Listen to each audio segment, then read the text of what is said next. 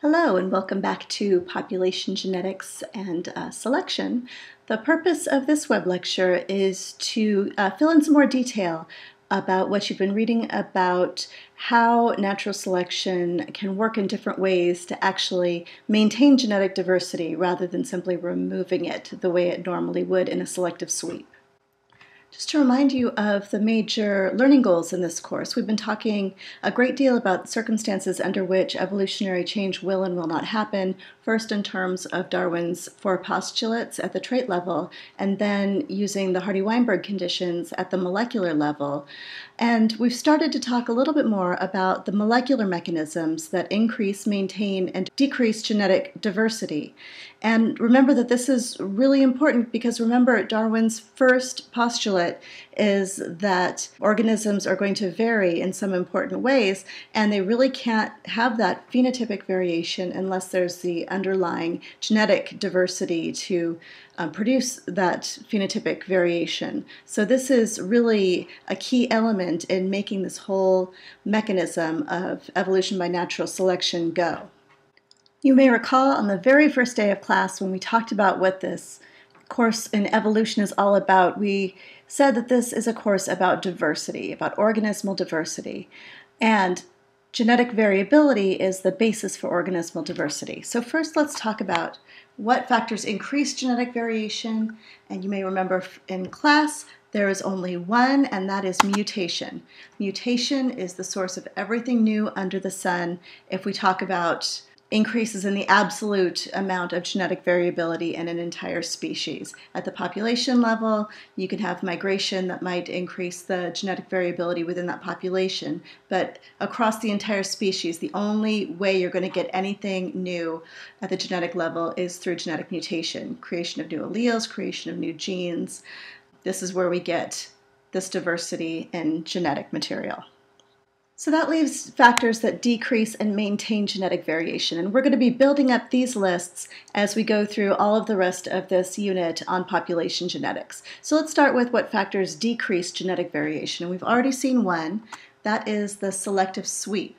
So selection for recessive alleles or incomplete dominance. We saw this figure here where you can see that in cases of additive or incomplete dominance, you get a very rapid increase in that allele frequency. So we're starting with a very rare new mutation that has a benefit. It's going to very quickly increase in the population as more and more of those alleles give the individuals that have them that benefit until it goes all the way up to fixation. Similarly, with recessive alleles, um, a brand new rare recessive mutation is going to take a while to start increasing in frequency. Why? Because it has to be in a homozygote. It has to find another copy of that allele before it's expressed. But once it becomes common enough in the population that it's going to have a very easy time finding another copy of that allele um, to form a homozygote, then it's going to very, very rapidly increase all the way to fixation and eliminate the other allele. So those are two forms of selection that decrease genetic variability, but we also see here a mechanism that maintains genetic diversity, and that is selection in favor of a dominant allele. So you see here that because both dominant homozygotes and heterozygotes have full fitness advantage, this allele is going to increase the most rapidly of all of the three of these up to a very high allele frequency but it's going to come very high, but never actually become fully fixed in the population. And the reason for that is because the less fit recessive allele can always hide in those heterozygotes. The heterozygotes have exactly the same fitness as the dominant homozygotes. And so the recessive allele can never be completely eliminated in the situation where you have selection in favor of a dominant allele. So this becomes the first on our list of factors that maintain stable genetic variation. It's going to keep both of those two alleles in the population, so selection for dominant alleles.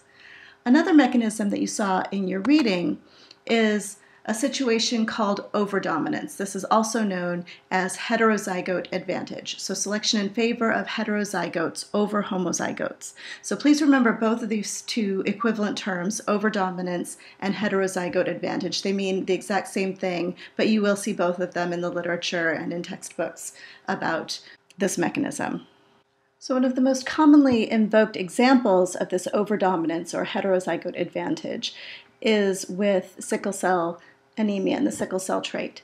So, the normal allele for this trait is denoted as A, and it produces the normal red blood cell kind of biconcave shape that most people have in the red blood cells.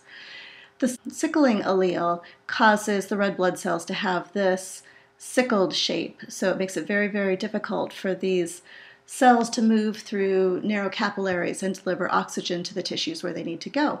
So if you're a homozygote for the sickle trait, you have only these sickle shaped red blood cells, and this condition is called sickle cell anemia. It's a very debilitating condition with very low probability of surviving to adulthood. If you're a heterozygote for this trait, this figure is actually not entirely accurate. Um, basically, this is a codominant situation. You produce both normal red blood cells as well as these sickled cells. And normally, this is considered a completely benign condition. So there are normally no complications related to this. There's some evidence that under very high oxygen stress, um, it can pose a problem, but very, very little fitness consequence for having this heterozygote condition under normal conditions. But it turns out that in areas where malaria is prevalent, this sickled form of the red blood cells give some resistance to malaria. So the malaria um, parasite is not able to enter these cells.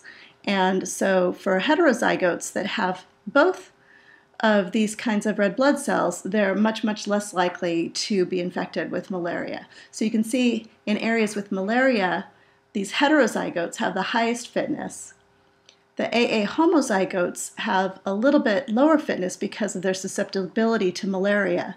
And of course, the individuals with the sickle cell anemia have the very lowest fitness. Whereas in areas without malaria, um, virtually identical fitness in heterozygotes and wild type homozygotes, and still very, very low fitness in the sickled homozygotes. So, whenever you have the situation where the heterozygote is favored over both homozygotes, both alleles are maintained at this equilibrium frequency between the two. So if you look at this graph, the allele frequency of one of the two alleles is plotted on the x-axis. So in this case, this one allele P is at an equilibrium frequency of a little bit more than 6. The allele frequency of the other allele would be a little bit less than 4 to add up to 1. And we've got mean fitness for the population plotted on the y-axis. So the equilibrium point between these two alleles is going to depend on the strength of selection against each of the two homozygotes. So you'll remember um, in the case of the sickle cell trait, the S homozygote was very, very strongly selected against. So that S allele is going to be maintained at relatively low frequency compared to the A allele because the A homozygotes had very little reduced fitness relative to the heterozygote. And so this equilibrium frequency is going to be maintained as what we call a stable equilibrium. Stable equilibrium means that it's going to be self-correcting.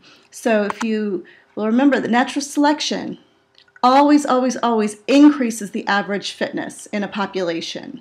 So if anything happens to move these allele frequencies away from the stable equilibrium, say one of these other factors in uh, the Hardy-Weinberg conditions, uh, genetic drift causes it to wander away, uh, migration ca- causes these allele frequency to change. Natural selection is going to bring it back toward this e- stable equilibrium frequency.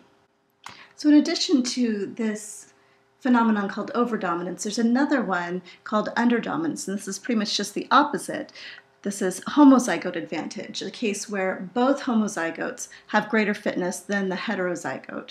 And we can look at this again in terms of this graph of allele frequencies compared to the mean fitness of the population.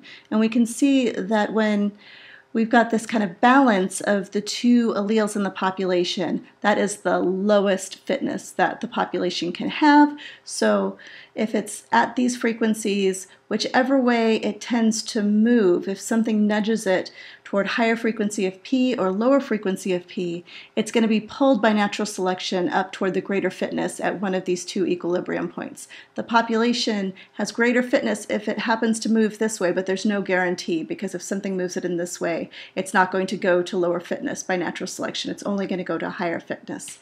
So the equilibrium is unstable as compared to the stable equilibrium that we saw in overdominance, one or the other of the alleles will be fixed in the population depending on the starting frequencies or genetic drift, whichever way this um, the allele frequencies get pulled. It's going to be pulled all the way, the rest of the way to fixation. So again, this is going to tend to decrease the genetic diversity in the population by eliminating one of those two alleles.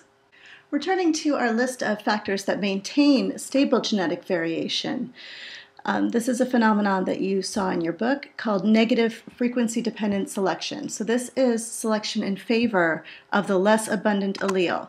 So, this is a case where the fitness of a phenotype depends on its abundance in the population. So, this is selection for the rare allele. The example that was given in your book was the case of the elderflower orchids in Europe that come in purple and yellow morphs.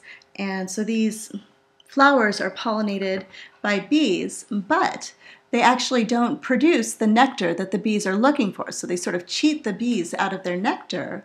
But the downside is that the bees learn to recognize the flowers that didn't give them any nectar and avoid them.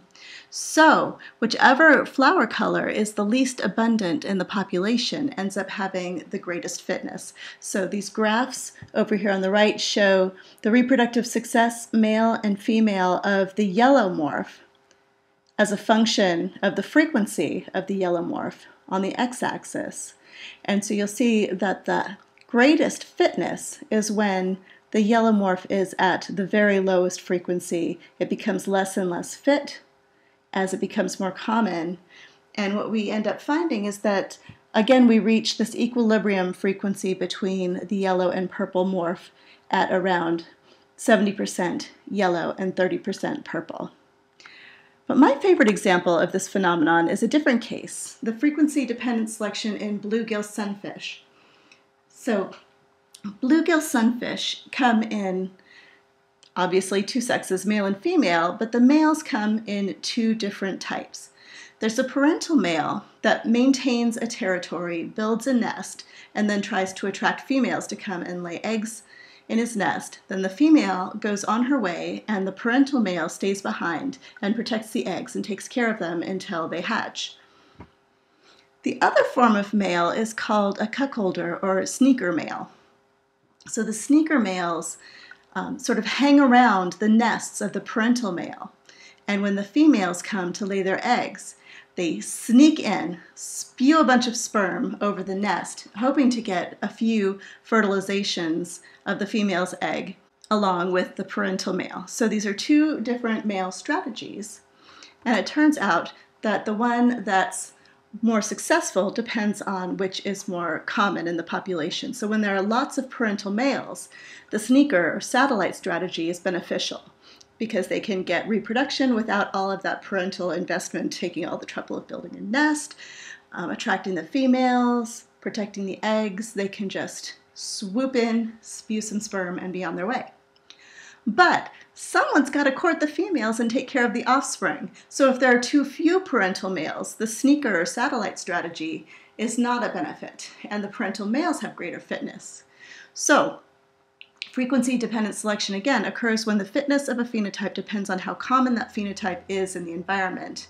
And that um, this maintains genetic diversity, and it's called negative frequency dependent selection, in which the rarer allele is favored. So the last mechanism I want to talk to you about that can maintain allelic diversity in a population is called mutation selection balance. And this explains some cases of deleterious recessive genes being maintained in the population, even though there's, there's relatively strong selection against them. And so the idea here is that different loci have different mutation rates. And so if the mutation rate is high enough that as selection is removing alleles from the population, mutation is regenerating them at sort of an equal rate so that there's this balance between mutation and selection. So the frequency of the deleterious allele depends on this balance between selection removing the allele and mutation generating the allele. So if there's strong selection plus a relatively low mutation rate, that deleterious recessive allele is going to be maintained at a low frequency. If there's weak selection, so that's just a little bit uh, detrimental to have this recessive condition and a high mutation rate, it's going to be maintained at a higher frequency. And so we'll work on some problems in class um, to demonstrate how this works. So just to review, our list of factors that maintain stable genetic variation, selection for dominant alleles, overdominance or heterozygote advantage, frequency-dependent selection, and mutation selection balance.